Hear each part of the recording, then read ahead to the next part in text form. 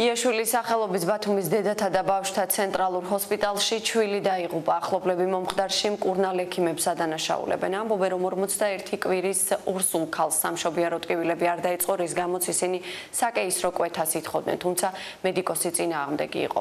ოჯახის წევრები ექიმის დასჯას ითხოვენ. რა რეაგირება მოყვება ფაქტს თავად სამედიცინო დაწესებულებისგან? აქ გვითხრეს, რომ მოკვლევა მიმდინარეობს. შინაგან საქმეთა სამინისტროს ინფორმაციით კი ფაქტზე გამოძიება სისხლის სამართლის კოდექსის 124 მუხლი დაიწყო, რაც ჯანმრთელობის ნაკლებად მძიმიან, მძიმე დაზიანებას გულისხმობს გაუფრთხილებლობით.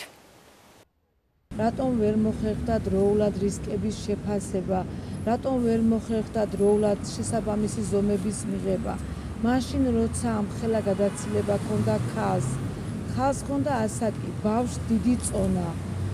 მდგომარეობაც არ იყო ისეთი, რომ დროის გაწელა შეიძლებოდა ჩვენ არამედიკოსები ხვდებით ამას, მაგრამ ექიმებმა ასე ჩათვალეს საჭირო. რა გითხრეს ექიმებმა? მითხრეს, რომ ბოლო წუთებამდეც კი, ბოლო წუთებამდეც კი, როცა უკვე მხოლოდ ხალი შეგვჭა ხელში ცოცხალი, ვითხოვდით საკეისროს, რომ ეგებ ხალი მაინც გადაგვერჩინა. ესეც მოკრივა მიმდინარეობს ჰოსპიტალი პარალელურად კონტაქტზე გაკეთებას მოკრივას დაელოდება.